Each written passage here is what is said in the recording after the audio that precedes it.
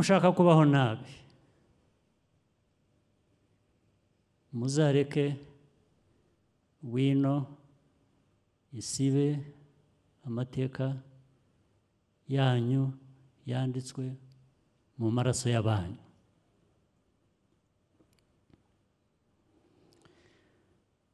ni na byiza ko mbibwira mwebwe muri aha abenshi muri bato. Kugira ngo hano abenshi biganje no mu gihugu muri rusange. Imyaka cumi n'umunani kugeza muri mirongo itatu. Nibo benshi. Muri hano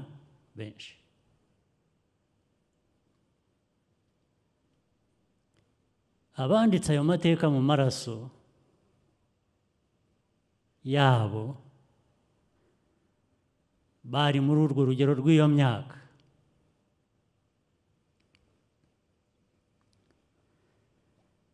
Mwebwe rero muri muri uru rugero rw'iyo myaka abarimo ubu batari ba bandi banditse amateka. Mufite inshingano yo gukomeza ayo mateka n'iyo byaba ku maraso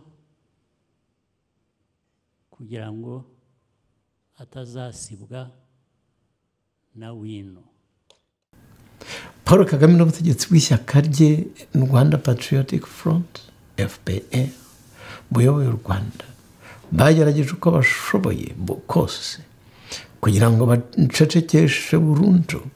Hamwe nanjye abanenga guverinoma yabo ibyo bakoze by'ukuri byeretse isi isura nyayo yabo. Barashimuta bakora iyicarubozo bafungira ibinyoma. Barica kandi bahimba imanza ziteye isoni. Ku bantu bose batavuga rumwe nabo. Nagize amahirwe gusa ko ntishwe. Bitandukanye n'iby'abandi bantu benshi. Urubanza rwanjye rwarasakaye ku isi. Ariko ndi umwe gusa. Mu bantu ibihumbi buri mwaka bagira ikibazo nk'icyanjye. Radiyo ubumwe uyu munsi turi ku wa gatatu tariki eshanu z'ukwezi kwa karindwi umwaka ni bibiri na makumyabiri na gatatu. Tukaba twinjiye muri studio za radiyo ubumwe turi kumwe na madame christine mukama. Mwaba mutwumva ngo musuhuze abakunzi ba radiyo ubumwe musuhuze n'abanyarwanda bose muri rusange. Francois komera komera ndabaramukije mwese. Hari hashize iminsi tutaganira ariko tuba tubazirikana kandi tuba tubasengera abanyarwanda rero namwe abanyarwandakazi mu nteze amatwi muri uyu mwanya muza no kutwumva wenda twarangije ikiganiro mwese ndabasuhuje mugire amahoro y'imana. Kandi imana y'u rwanda ikomeze ibarindire aho muri hose ibahe urukundo ubumwe n'ubwumvikane. Bwa yezu kirisiti umwami wacu. Amina. Murakoze cyane rwose. Abakunzi bawe bari bamaze iminsi bakunkiza bambwira bati mama christine yagiye hehe rwose? Ariko birumvikana kenshi hari byinshi byo gukorwa kuko mu gihe cy'urugamba nk'uru nguru. Hari igihe abantu babura ariko bahuriye mu bindi kandi na byo bijyanye n'urugamba turiho. Ngize amahirwe turabona rwose nk'uko ndabizi neza ko ubwo rwose sabagina yari ari yari agifungiye hariya uri umwe mu bayobozi bari muri komite ya ya paul sesabagina yari ishinzwe kugumya kuvuganira paul sesabagina nkeka ko ari ibyishimo kuba aka kanya turi kumwe nawe. Ejo bundi tukaba twarabonye rwose speech yiwe aho yasuhuje abanyarwanda. Akongera no gusaba abanyarwanda kugumya guharanira ukishyura ukizana kwa buri munyarwanda. Nagira ngo rwose udusangize uko mwabifashe uko mwabonye. Paul rusesabagina agarutse agarutse kuri uru rugamba rwa politike cyane cyane ko i kigali bo bari barakwije propaganda ko yasabye imbabazi rwose ngo atazongera gutekereza kuvuga ku rwanda. Ariko tugatekereza ngo ni mu kihe gihugu cyabuze umuntu cyacecekesha umuntu? Cyane cyane ko tubizi ko eh, muri amerika uburenganzira bwa mbere eh, itegeko nshinga riha umuntu ni ukishyura ukizana kandi ukavuga ikikuri ku mutima. Ikikubabaje. Ni iki mwabitubwiraho? Eh, dutangiriye kuri abagabo ba kigali bari barakwirakwije propaganda ngo paul sesabagina ngo rwose bya bya politike no kuvuga ku rwanda ngo ntazabyongera. Ariko twarabibonaga ko byari propaganda. Mwe mwabifashe mute Eh, tutarinjira kuri iri jambo cyangwa speech ya paul sesabagina yagejeje ku banyarwanda ku itariki ya mbere z'ukwa karindwi. Murakoze francois. Mm.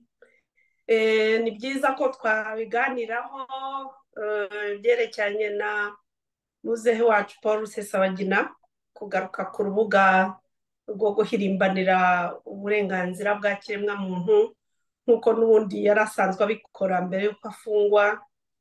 Um, ni iby'agaciro eh, kuba umubona yongeye kugaruka kuko muri make natwe duhirimbana twifuza ko bamugarura bamufungura nta kindi twari tugamije nta kindi cyifuzo twari dufite imbere kitari ukugira ngo nyine agaruke mu buzima busanzwe.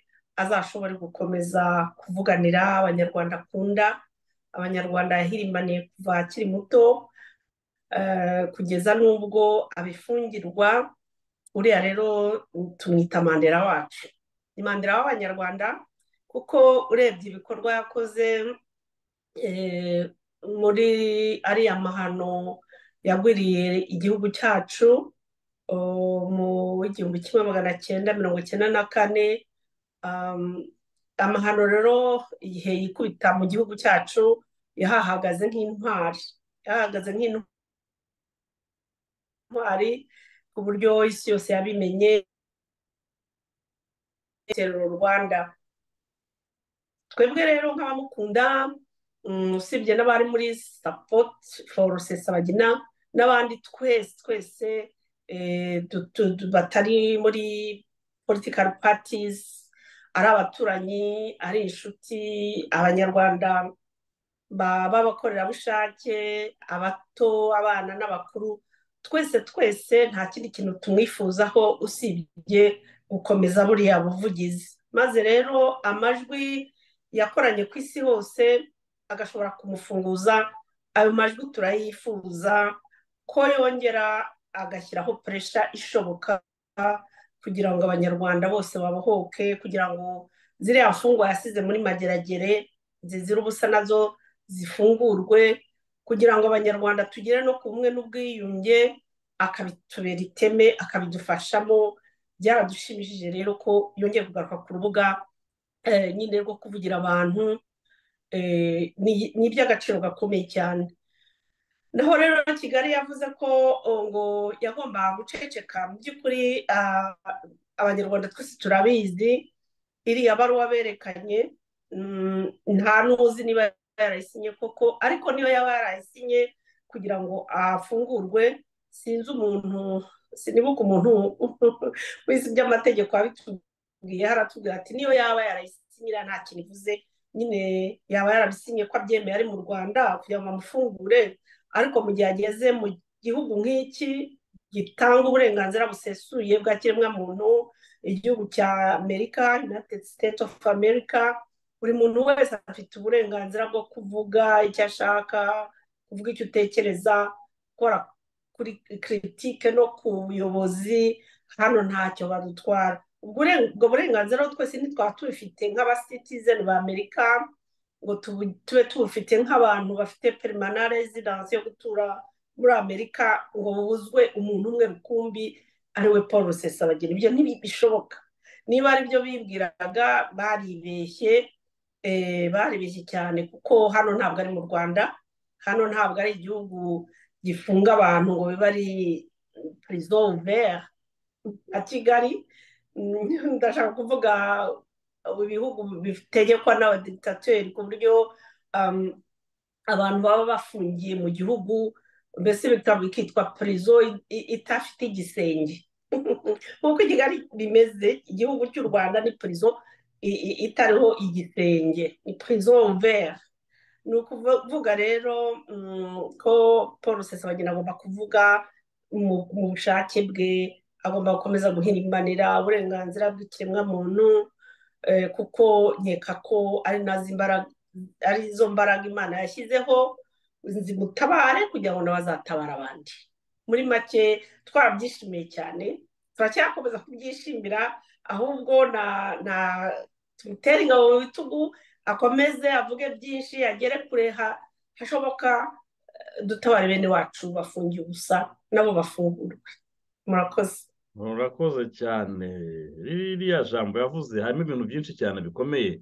Ariko hari nk'aho yageze avuga ko u rwanda ruyobowe mu buryo bwa aparitayidi kandi koko iyo urebye mu rwanda ukareba buriya busumbane ukareba ubukene burimo hari agatsiko k'abantu bakeya banyunyuza abandi babayeho neza bigaragara ko ubucuruzi ari ubwabo utuzi twiza ari utwabo ibintu byose byiza by'igihugu ari ibyabo hakaba n'abandi ubona mu by'ukuri barimo kugenda basigara inyuma. Ariho tubona ko mu by'ukuri bazanye ikintu cya paritayidi koko aho bamanuka bakajya nk'igitarama bakabuza abantu guhinga amasaka bati mugomba kujya muhinga wenda imyumbati kubera ko kagame hashinze uruganda bakajya mu ruhengeri bati ibirayi byose muhinga nta n'umwe ugomba no kuvanamo ikirayi n'ubwo umwana yaba aburaye mugomba kubijyana mu makusanyirizo yaba ari abana bo mu gatsiko ukabona ko bakajya ikibunguna hati wenda murahinga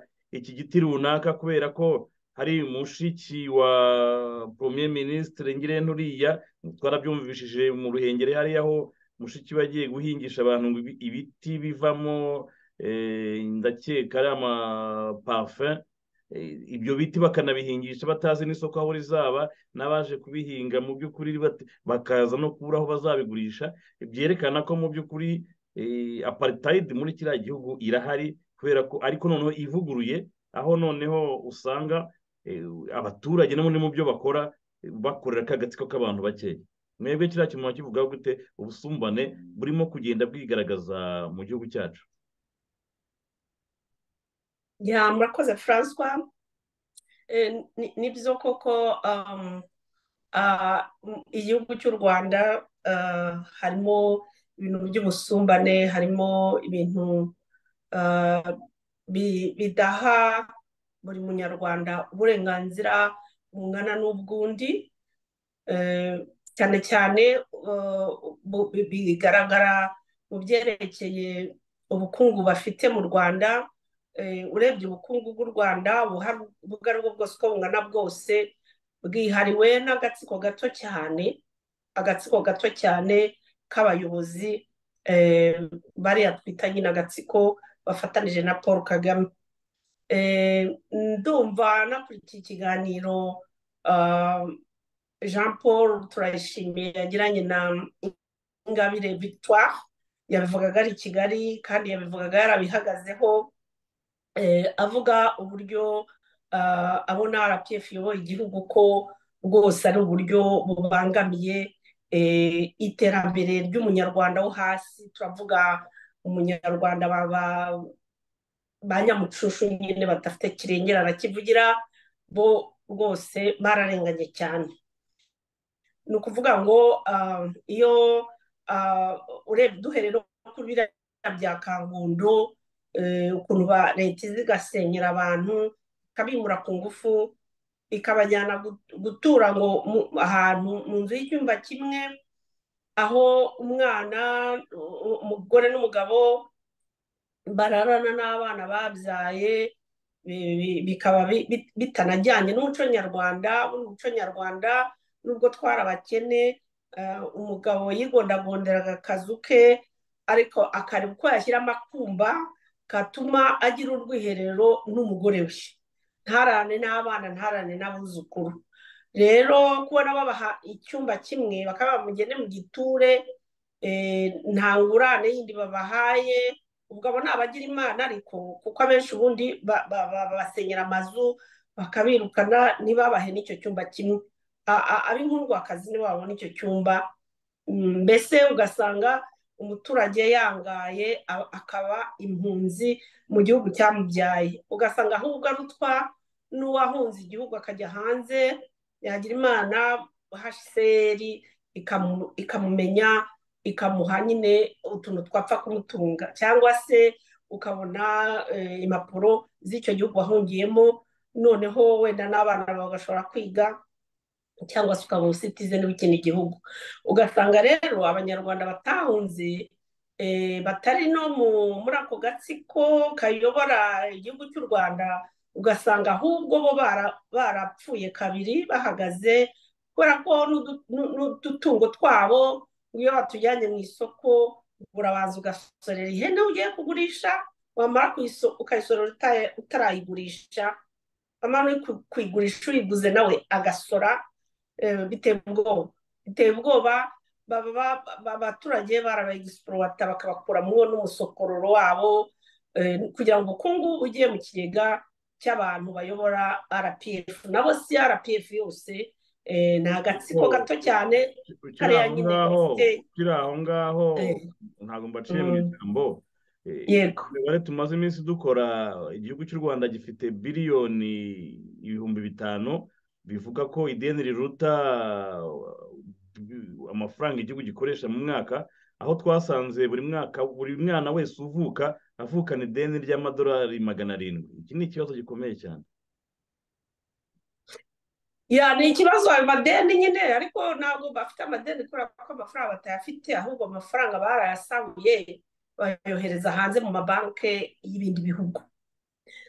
Kuko iyo hari yutube nabonye bavuga abaherwe bo mu rwanda bari bo abaherwe icumi bo mu rwanda na paul kagame arimo byensire ariko ayo mafaranga yose bafite ni amafaranga bacuje igihugu bajya kuyabika hanze no mu bintu byabo noneho ahubwo bagafata amadeni kugira ngo nyine guverinoma izabasimbura yo izabe ifite umurage w'amadeni naho bo barigendeye bari kuryayo basahuye igihugu. So birababaje cyane kuko iyo ukurikiranye isitwari ya kiriya kintu bita ngo niba ari kirisito venca kiriya kintu cyitwa kirisito venca gifite abayobozi nyine harimo nyine umuryango fesite redi n'umugabo we n'abandi bose bakomeye. Hariya ni ho ubukungu bw'igihugu bwashiriye ni ho imisoro y'abaturage ijya ni ho umuntu wese ucuruza iyo ngo atahaye abantu ba ngo basangire fifiti fifiti simbizi rero fifiti fifiti sinibuka imigabane bambwiye ariko baba bashaka niba ukoze bizinesi kunguka ntabwo wayigira iyabo wenyine ngo bakwemerere ngo bohereze abantu bo muri apf kugira ngo muyisangire.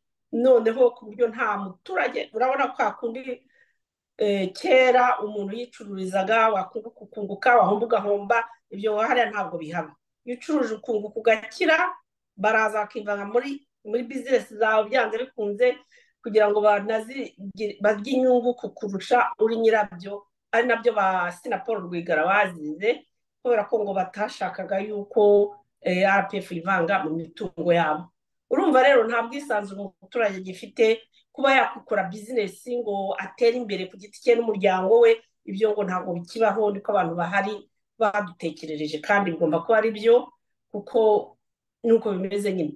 Ni sisiteme mbese yo yo yo yo kugira ngo ubukungu bw'igihugu bujye mu maboko y'abantu bake cyane abandi bose bakore ari nk'aho babakorera. Muri make ni ubukoroni bushya. Bwambaye igisura niko nabivuga ntawe bitaniye mwakoze cyane. Mu ijambo paul kagame yagejeje ku baturage aho yavuze ko ngo mu itariki ya mbere nyakanga y'ubwigenge bayihuza n'itariki ya kane yo kwibohoza aho yavuze ko ngo u rwanda rutangira igihumbi magana cyenda mirongo icyenda na kane ngo ntabwo akeneye amateka yandikishijwe ikaramu ni ukuvuga ko ibya mbere mirongo icyenda na kane ngo atabyemera ngo yemera ibitangira icyenda na kane byandikishijwe amaraso ngo kandi biba ngombwa bazongera bayamene. Biriya bintu bishatse kuvuga iki? Cyane cyane ko tuzi ko igihugu cy'u rwanda kiri hafi kwinjira mu ntambara cyangwa cyatangije intambara na congo bigaragara ko byanze bikunze iriya ntambara izanagera mu gihugu cyacu cyane cyane iyo tugumye kubona ukuntu congo na yo irimo kugenda yishakaho ubushobozi n'imbaraga kugira ngo ibohoze uduce twafashwe na rdf makumyabiri na gatatu tubona ko intambara byanze bikunze izaba kandi izasiga mu kangaratete abanyarwanda. Ariko ukaba ubonye umugabo avuga ati ngewe sinemera amateka ya kera nemera ayo twiyandikiye dukoresheje amaraso yacu icyenda na kane. Ni ukuvuga ko igihugu gitangira icyenda na kane. Biriya bintu wabibonye gute nk'umuntu ukurikira umukuru w'igihugu uvuga ibintu nka biriya ni imvugo igaragaza ko ya ntambara twavuga ko byanze bikunze izaba nabo barimo kugenda babyemeza nko guca amarenga ko intambara ihari. Ya murakoze francois. Biriya bintu nabigaye cyane njye nanabigaye mbere y'uko avuga ririya jambo. Nta nubwo ari paul kagame nagaye wenyine nagaye abanyarwanda bose iyo bava bakagera batari guhaguruka kugira ngo duharanire ko amateka yacu yandikwe uko yakabaye. Amateka igihugu cyacu ni igihugu nk'ibindi byose. Mu ruhando rw'andi mahanga turi igihugu nk'uko ibindi bihugu bimeze. Birababaje cyane kubona igihugu kimwe ku isi ya rurema ari cyo cyonyine kidashobora kwemera kwizihiza ubwigenge cyabonye. Iriya tariki ya mbere nyakanga mu gihumbi kimwe magana cyenda mirongo itandatu na kabiri ni itariki ikomeye cyane. Paul kagame nashaka kuramirwe mu isaho aribwira ngo yarayisibye ntiteze kuzasibika na rimwe bibaho mu banyarwanda mu mitima yabo kandi igihe cyose azaba atakiyobora kiriya gihugu iriya tariki igomba gusubiraho. Mu by'ukuri francois ikintu ngaya abanyarwanda nanjye ndimo kandi nifuza ko nanjye nagira abatekereza nkanjye tugafatanya kugira ngo amateka y'u rwanda tuzaharanire ko umunsi umwe azandika uko yagenze. Yaba yatubabaje yaba yadushimishije tugomba kuyandika uko yabaye ni naho tuzashobora gukosora ibibi byaba byarakozwemo ni naho abana bacu bazamenya imisaraba twahetse no kugira ngo bakosore noneho hazandikwe amateka duhuriyeho amateka ashimishije amateka abereye buri munyarwanda. Naho ubundi none se twajya urabona iriya tariki ya kane nyakanga paul kagame afata ubuyobozi. Yafashe ubuyobozi mu gihugu avuga ko yinjije impunzi sinibuka impunzi z'abatutsi ko zanganaga ibyo byose ntawe zihuriye n'impunzi mu by'ukuri umunsi w'ubwigenge wagombye guhoraho uko bisanzwe ku banyarwanda bose kuba washimishije n'abo utashimishije kuko turi ihanga rimwe ntabwo turi amahanga abiri kandi n'abandi no ku rundi ruhande ntabisobanuye bihagije amateka yose haba aba yashimishije yaba atashimishije yagombye kwandikwa uko ari kugira ngo tuzabone uko tuyakosora mu bihe biri imbere kugira ngo tuzabone n'uburyo twubaka amateka meza adashingiye ku maraso ahubwo amateka ashingiye ku bwumvikane no ku busabane bw'abanyarwanda bose muri rusange. Nicyo nashaka kubabwira kuko umunsi w'ubwigenge nta kintu na kimwe mbona cy'urwitwazo cyatuma uvaho uko byaba bimeze kose. Murakoze. Murakoze cyane. Mu iryo jambo ryiwe kandi yakomejemo aza umunyamakuru aza kumubaza ati iyi nzara ko imaze abaturage marigre ibyo mwakoze byose murabivugaho iki? Kandi koko mu by'ukuri turimo turabibona ko abaturage b'u rwanda barakennye ariko mu gatsiko bo iyo za nyarutarama baravuna umuheha rwose barajugunya ibyo kurya urayibona cyane ko mu rwanda havutse ibihugu bibiri hari agatsiko gatoya kaba gashize rwose bakize iyo za nyarutarama rwose baramena amaguru y'inkoko ariko bene rubanda ari bwo cya gihugu kindi cy'abakene turimo turabibona ko rwose abantu barimo kuhazaharira. Mu gihe dufite ikibazo cy'ubukene bigaragara yuko na nyuma ya kovide ibintu byinshi byananiranye wenda tuza kugera ku kibazo cy'umutekano muri congo hariya nabo utwara amafaranga perezida we ngo yafashe indege dore ko atizihije n'iriya tariki yo kwibohora y'itariki ya kane we ngo yigiriye muri tabago na muri za ayilandi za tobago na barbados. Iyo ngiyo ngo muri aniveriseri z'ubwigenge bwabo mu gihe ata igihugu. Ariko ikibazo mfite ntabwo ari kujya mu izo aniveriseri ataye ibyiwe atanabigiyemo. Ikibazo mfite n'izo ndege yagumya guhagurutsa ebyiri kandi ziriya ndege iyo zihagurukije zitwara. Ntabwo zijya munsi ya za miliyoni. Aho tuba tuvuga za miliyari zikenewe mu buvuzi muri za disipanseri aho amadisipanseri menshi cyane arimo kugenda afunga ibitaro bidafite abaganga bahagije cyangwa imiti ihagije cyangwa se no haba no mu burezi birimo biragenda bigaragara mu gihe mwarimu yabaye kakweto kubera bahembwana nabi byo biranumvikana cyane mwarimu wahembwe nabi ntabwo wambwira ko uzamutegerezaho umusaruro. Umugabo we arakomeza kwitemberera indege ze ebyiri eshatu zitwara miliyoni buri tiripu yiwe burya yagiye ziriya ebyiri zose zigiye ntabwo wabura kugenda nka miliyoni ebyiri byanze bikunze. Kuko tubara timu ajyana na yo irara mu mahoteli tukareba amavuta y'indege tukareba aho bakodesha baraza zirya ndege ibyo byose tugenda tubira ugasanga ni amamiliyoni agenda asohoka mu gihe bije y'igihugu tubona ko yajegeye. Ibi urabivugaho iki? Aho abanyarwanda barimo kugenda rwose barushaho gutindahara ariko umugabo we akaba akomejemo rwose kwitemberera n'amadege yiwe nk'aho nta cyabaye mu gihugu. Ya francois murakoze cyane. Ibyo bintu uvuze ni ibintu bikomeye cyane kubona umukuru w'igihugu wakagombye kureberera abaturage akamenya icyateza imbere abaturarwanda kugira ngo nibura n'umuturage wo hasi abone icyo ararira umwana ashobore kujya mu ishuri ngira ngo twagiye twumva ibibazo abana bagize mu kubona ibiryo ku ishuri. Kandi ari guverinoma yagombaga kwitangira icyo gikorwa cyo kugira ngo abana nibura bo muri pirimeri niba bagiye ku ishuri babona ifunguro rya saa sita.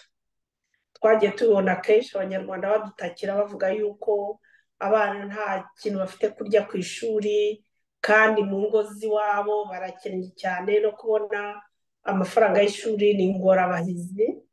Kumva rero umukuru w'igihugu n'abaminisitiri bayobora icyo gihugu bo birirwa muri mama wararaye yo kwigira mu mahanga yo gukoresha amadege yo gukoresha za pati zidasanzwe n'abana babo bakabohereza mu mahanga kwinezeza mu mafaranga y'imisoro y'abaturage. Nk'uko twari twabivuze kare kugira ngo nakubwiye ukuntu batubwiye ko iyo umuturage agiye kugurisha ihene ngo arabanza akayisorera mbere y'uko ayijyana ku isoko yamara no kuyigurisha uyiguze nawe akayisorera kugira ngo ayitahane. Ibyo bintu byose ni ibintu bikura umusokororo w'abaturage bituma basonza bituma bamererwa nabi bituma abaturage bumva nta ari impunzi bari inyuma y'impunzi mu gihugu cyababyaye. Ni ibintu bibabaje cyane. Sinzi neza niba agatsiko gatekereza ingaruka zigomba kukagarukaho mu gihe umuturage bashinzwe aho kumureberera ahubwo bamwegisipuwata egisipuwatasiyo ndashaka kuvuga mbese gukandamiza umuntu ku buryo ibyo atunze aho kugira ngo birengere umuryango we birengere ahubwo wowe w'umuyobozi urumva ntaho bitaniye na bya bindi bya kera ku ngoma y'abami bavugaga ngo umuturage nimba yejeje ngo ibitoki byiza weje byiza wejeje bigomba guturwa umusushefu cyangwa umushefu ngo gutura amakoro ibwami ibyo mwejeje byiza byose mbere y'uko usarurira abana bawe n'umuryango wawe ugasarura ibijya ibwami. Ni ahantu rero bitaniye ibyo ni ubukoroni ni ubuhake bundi bw'indi sura bugaragara kuri kariya gatsiko kayoboye igihugu cy'u rwanda. Ntabwo rero nk'abanyarwanda twabyishimira kubona babuza umuturage ubwigenge bwe isambu ya gakondo akayamburwa kandi nta ngorane afite. N'utwo yipapiye ku ruhande bakamucaho imisoro imukuramo umusokororo ku buryo asigara ntacyo afite. Iyo guverinoma rero itarengera abaturage b'u rwanda ahubwo ikarengera inyungu zayo kugira ngo bagire mositi kamfoti bumve bari areze n'abana babo batwara amamodoka ahanitse amamodoka ya marike tutanazi zadutse ziba ari zo zitwarwa n'abana ba paul kagame n'abana b'abawufitiye bari i kigali ariko umuturage we adashobora no kubona ikintu yararira. Ibyo rwose ni agahomamunwa ni digitatire iteye isoni n'ubwoba. Mbese francois sinabona ukuntu bivuga kuko noneho rero abaturage n'itariki biboneyeho ubwigenge paul kagame yaravuze ngo ntayifeta ntashobora kuyemera. Ngo azemera ngo igihe yabohoje igihugu ngo ni ho ngo ni ho umunsi mukuru azashyira imbere. Ni agahinda gakomeye cyane. Paul kagame yamubwiye ko rubanda nyamwinshi ntabwo ari we ntabwo ari n'agatsiko ke. Rubanda nyamwinshi barababaye nabimenye kuza agahindura amazina y'imisozi agahindura amazina ya perefegiture agahindura idarapo ry'igihugu agahindura. Imune nasiyonari y'igihugu indirimbo y'igihugu agahindura ibintu byose kugira ngo ahishe ahantu rpf yagiye ikora amarorerwa kuhahisha ngo ni uguhindura amazina y'imisozi ni kubera ko bazi ko bahakoreye amarorerwa. Ngo hatazagira umuntu ubarega ngo akavuga ngo wenda ngo abantu n'ababiciwe muri gikongoro. Akabihisha akavuga ati tuvuga ko gikongoro ntayibaho hari irindi zina bahashyize. Ibintu nk'ibyo yakoze ntagire ngo bizamugwa amahoro. Ntabwo bishobora kumugwa amahoro kuko sinzi umutariyani wavuze ijambo sinzi igitariyani mbabarire cyangwa ikiratini ngo du peuple c'est la voix de dieu. Sinzi uko babivuga mu kiratini ariko uwo mugani urahari. Du peuple c'est la voix de dieu. Ijwi ry'abaturage n'iryo jwi ry'imana. Niba abaturage bataka umuntu yaje guhindura ibintu byacu byose amateka arasiba asiba ibintu byose ibirangantego bya repubulika y'u rwanda y'umune nasiyonari umunsi w'ubwigenge. Paul kagame twayeho tumubwire ko aryara imenge nitugaruka tuzabisubizaho. Atubabarire cyane. Ibyo bintu yivugisha ngo ngo ngo itariki ya kane y'ukwa nyakanga niyo perezida abanyarwanda bose ibyo ntabwo tubyemera. Iyo perezida abanyarwanda b'igice kimwe ab'igice kindi se noneho abashyira hehe niba ari umubyeyi w'igihugu. Ubwo niba atari umubyeyi w'igihugu umunsi yavuyeho hazaza umubyeyi w'igihugu tuzazana ibyo byose ndetse n'ibyo yakoze tuzabizanamo. Ko twe ntabwo tuvangura. Twebwe abo bantu bose ni ababyeyi bacu amateka yose yabayeho ni amateka y'igihugu cyacu nta kintu na kimwe tuzavangura n'ibyo yibwira ko tutazibuka tuzabyibuka nawe tumwibuke nubwo twamwibuka nabi ariko tugomba kumwibuka. Ni uko bimeze ni uko bihagaze bareke kwibeshya ntabwo abanyarwanda dusinziriye turi maso n'abana bacu n'abuzukuru bacu turi maso ko twarenganye igihe cyose kariya gatsiko kazavaho tuzagarura ibintu byose bibwira ko tudashobora kugarura. Tuzagarura iby'ubwami tugarura ibya repubulika tugarura uko twahunze tugarure uko yadusohoye mu gihugu yinjira mu gihugu tugarure n'uko tuzaba twinjiye natwe ubwacu tugarutse byose bizandikwa nta na kimwe tuvanyemo. Ni byo nagira ngo mbwire nibashaka bafashe agapira hasi bamenye ko igihugu cyacu ni igihugu kigenga ni igihugu gikomeye kandi bazashira bose bazavaho natwe tuzazima ariko igihugu cy'u rwanda ntikizazima n'amateka yacyo azahoraho iteka ni cyo nagira ngo njye mbabwire mu butumwa bukomeye nashatse kubagezaho uyu munsi. Murakoze cyane. Murakoze cyane. Ndabona igihe twari twihaye noneho tusa n'abajya ku musozo.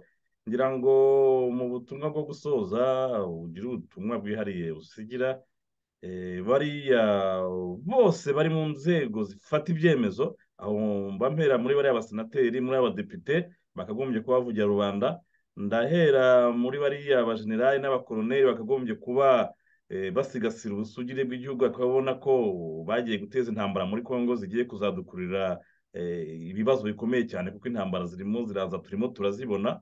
Nagira ngo mu magambo rwose yawe ugire ubutumwa bwihariye ubasigira kuko turimo turabibona ko u rwanda rurimo rwinjira mu minsi mu bihe bibi. Nubwo bapuretendinga cyangwa basa n'aberekana ko nta kibazo gihari ariko ntawe utayibona. Ikirere cy'u rwanda turimo turabibona ko cyugarije. Murakoze francois. Biragaragara yuko kariya gatsiko kagiye kazana ibintu by'amahane kwanduranya ku baturanyi haba ku burundi haba kuri tanzania haba kuri uganda haba kuri congo biragaragara ko politike yabo na diporomasi ntabwo byagendekeye neza abanyarwanda.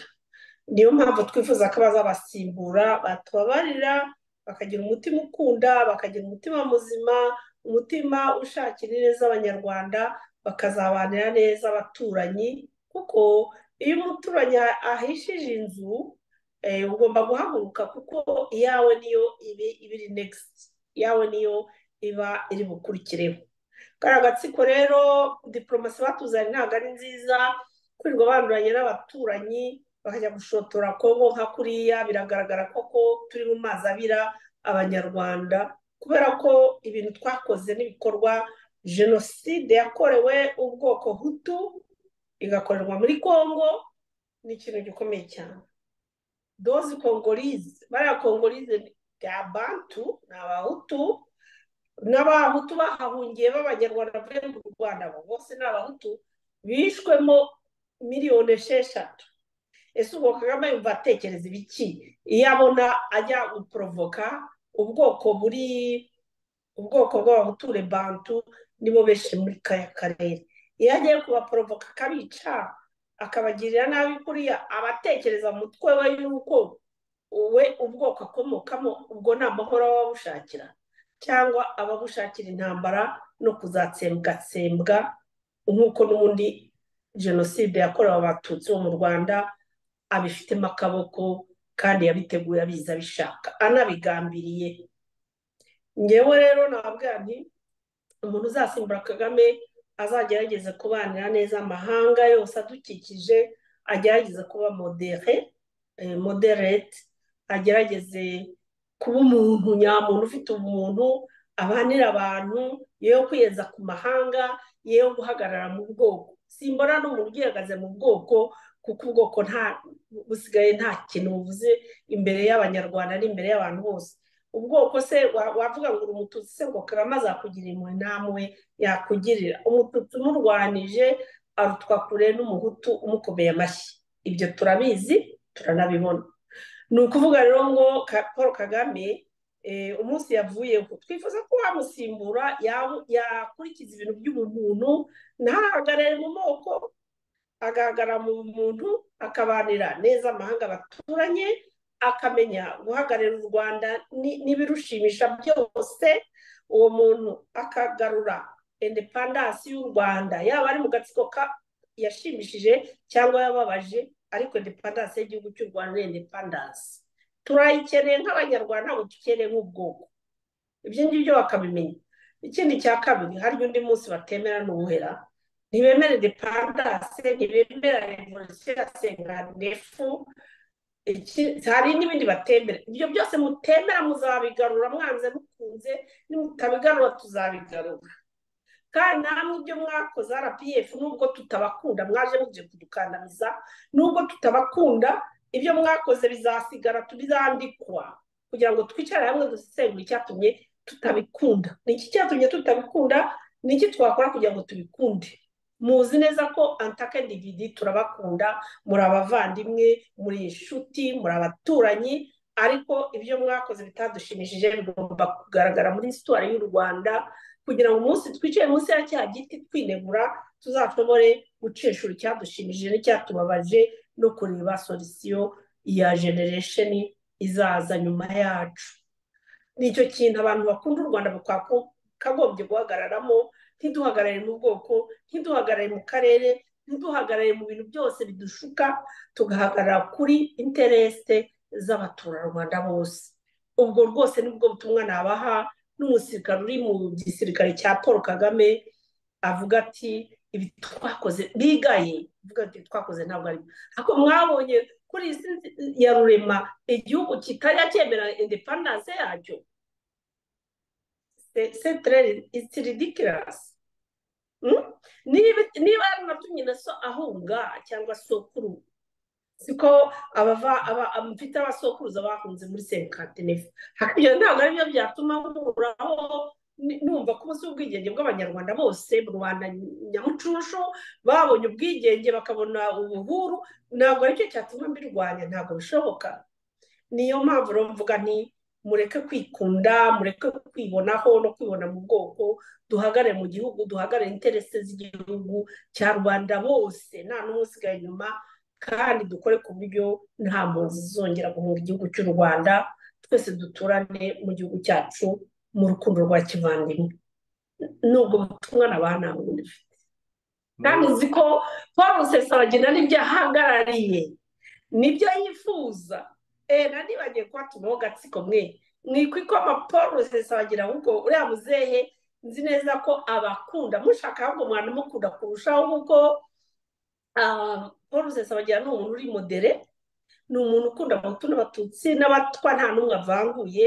Mu mukunde ahubwo ngenda nifuza ko mwakorana nawe kugira ngo abagire inama z'icyakorwa kugira ngo twese tugire u rwanda rwiza rw'ejo hazaza. Mwimikoma mwikoma paul rusesabagina ni mu mukunde ni mandela wacu turamukunda kandi azatugeza ku byiza byinshi biri imbere.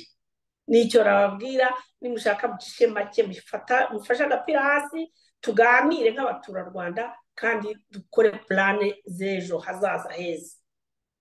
Urakoze cyane urakoze cyane nanjye ntabwo nasoza ntagize icyo mbivugaho.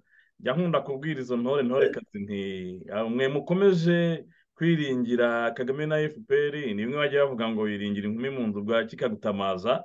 Umugabo babeshye ko ari igitangaza ngo afite n'abasirikare b'ibitangaza ngo bazinjira muri congo rwose ngo bakibaye ibyo bashaka bakagumya kubaka kigali. Ariko nk'uko diane rwiga yagize kubabwira ati ikibazo ntabwo ari ukubaka ariya mazu tubona ya ba kagame na banje na ba cyomoro bakagombye kuba baratangiye bubaka imitima y'abanyarwanda ubundi bakareba imibereho myiza yabo bo batagiye kwikunda. Njya nkunda kuvuga ngo nyuma y'ibi byose kagame na fpr dufitanye urubanza kandi n'izi ntambara arimo agiye gushoramo abana b'abanyarwanda nkeka ko ibi byose nyuma y'ibi byose hazaba urubanza. Nkunda kuvuga ngo buri mujenera wese agira intambara ya nyuma arwana yayitsinda akaba mareshari itsindwa agapfukama. Ndimo ndabona aho byerekeza bitari kure y'ibyo nakomeje kugenda mbabwira. Ariko nkaba mvuga ngo ikibabaje ni abanyarwanda bakiri inyuma ya fpr cyane cyane ko dukomeje kubona ko kabari bakomeje kohereza rwa rubyiruko ngo rw'intoranye rw'abacikacumu bavanzemo n'abana bava mu miryango ikomeye cyane. Abana b'abasirikare abahoze ari abasirikare bakomeye. Babonye amatureyiningi mu myaka itatu ishize mwajyaga mubona muri kadete barya abana basohoka y'abasuriye tuna barya bose ni abana b'abadinyiteri ni abana b'abasirikare bakuru cyangwa abahoze ari abasirikare bakuru n'abategetsi bakomakomeye. Dukomeje kugenda tugira amakuru ko barimo kubadiporoyinga cyangwa kubatuma muri amerika canada n'uburayi ndetse no muri afurika n'ahandi.